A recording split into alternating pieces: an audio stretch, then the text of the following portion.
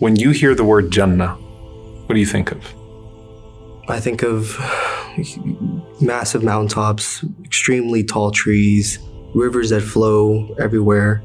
Uh, as you're stepping, it feels as if like more and more vegetation fruits forward, fruits that better than you could ever taste and imagine. Just feeling of calmness and peace and tranquility.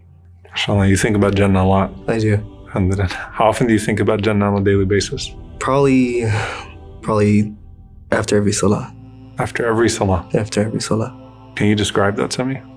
What I try to do is I try to do some zikr and I try to think to myself like the dhikr that I do may be raising my ranks in Jannah if Allah accepts. So I think to myself like if I am more remembrance of Allah, the higher ranks I get. So I try to think to myself like the, the benefit that'll come from it. Has the thought of Jannah ever gotten you through like a really hard time in life?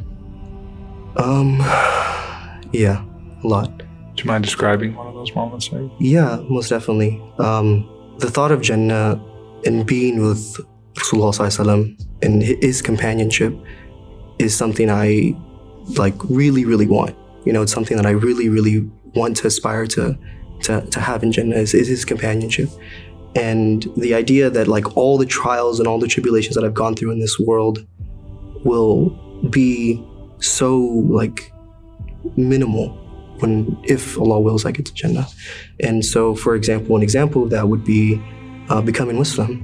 I took my Shahada about two years ago, and the idea of just getting to Jannah and, and becoming Muslim was something that was, alhamdulillah, something that keeps me keeps me going in Islam. And, and, when's the first time you like grasped Jannah as a Muslim? Like, wow, this is amazing. The thought when of Jannah. I went to Mecca, uh, I was able to do Umrah, and being at the Kaaba and just being in total submission with thousands of other Muslims made me realize that like this is real. It's very much real. And alhamdulillah.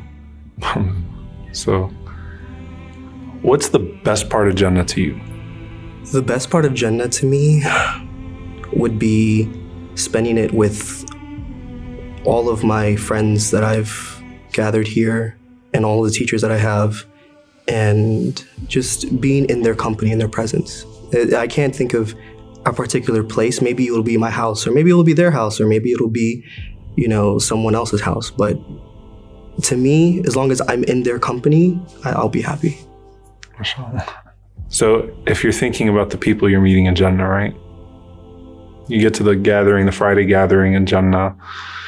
You see the prophets are there, the companions, all these historical figures other than the Prophet ﷺ, is there one person like you're like, I want to go meet that person and talk to them for a day? Musa.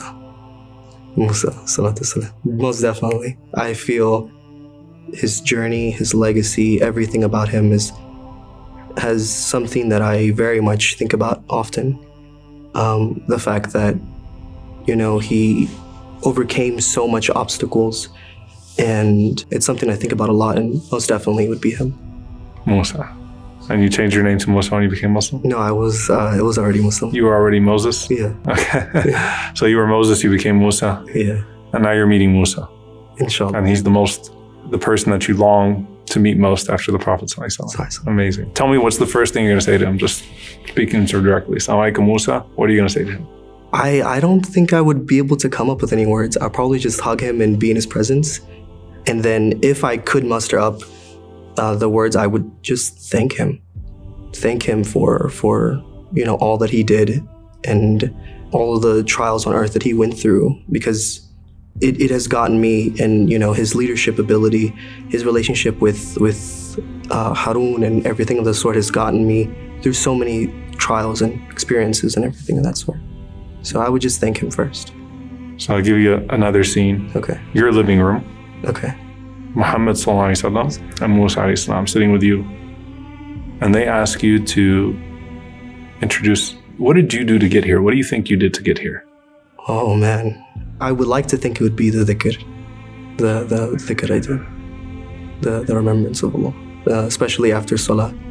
I think I think if Allah wills, that would be my my entrance to Jannah. Inshallah, inshallah. So now you get called by Allah subhanahu wa ta'ala. Allah wants to meet you alone. welcome you to Jannah. There's no questioning anymore. It's just Allah subhanahu wa ta'ala wants you to come meet Him individually in Jannah. What are your first words to Allah subhanahu wa ta'ala in Jannah? Oh man. Um I I don't know if I would have words. I feel like I would just be in awe and and in total just like respect and fear. I don't know if I could come up with any particular words, but if I could come up with any words, it would just thank you for making me Muslim.